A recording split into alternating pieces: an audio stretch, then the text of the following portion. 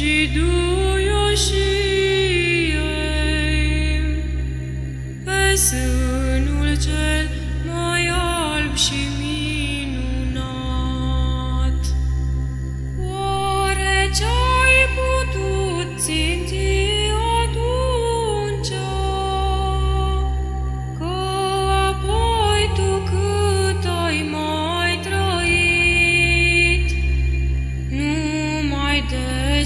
dor și duioșie. Și nu mai despre dragoste ai vorbit.